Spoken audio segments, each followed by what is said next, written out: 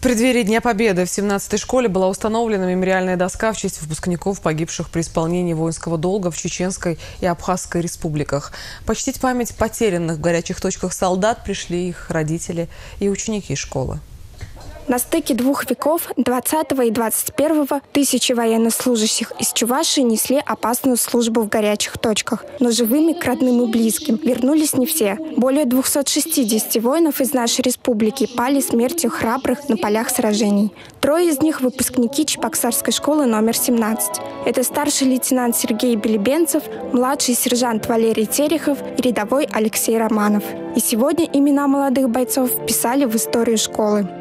Когда его назначили э, отправить в Чечню, он приезжал домой на трое суток и сказал, мама, благослови ты меня.